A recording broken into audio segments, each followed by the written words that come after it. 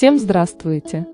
Супруга Олега Табакова призналась, что некоторые вещи не дают ей покоя даже спустя 4 года после ухода любимого.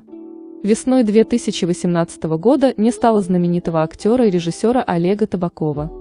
Тяжелее всех случившееся переживала его молодая жена Марина Зудина.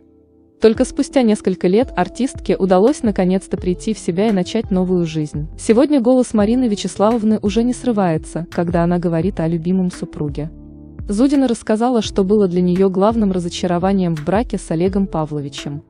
Актрису сильно расстраивало, что окружающие не воспринимали ее в качестве самостоятельной творческой единицы, считая просто приложением к Табакову. Все-таки рядом долгие годы был Олег Павлович – и меня воспринимали во многом не столько как актрису, сколько как его жену. Хотя еще до того, как ею стать, я была абсолютно независимой творческой единицей, активно снималась. Сейчас вновь настал такой период, когда я это только я, и все, что происходит, уже нельзя списать на заслуги Табакова, на чью-то защиту, отметила Зудина. Именно поэтому сейчас Марина Вячеславовна призналась, что заново выстраивает отношения. Супруга Табакова отметила, что ей интересно наблюдать реакцию людей, которые удивляются ее нормальности.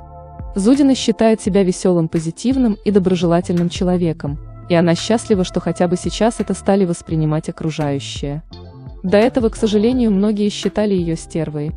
Есть ведь такой стереотип – если у тебя муж занимает положение в обществе, у него есть особое влияние, и поэтому сейчас особенно приятно знакомиться с новыми людьми, которые воспринимают меня такой, какая есть.